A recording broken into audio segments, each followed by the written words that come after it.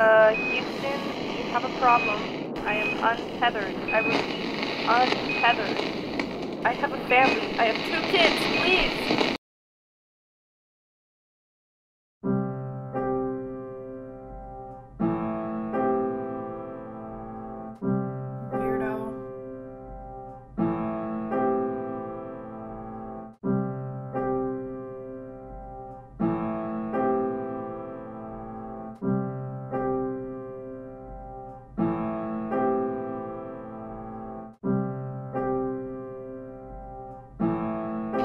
Fluffy from Houston. Whiskers, do you copy?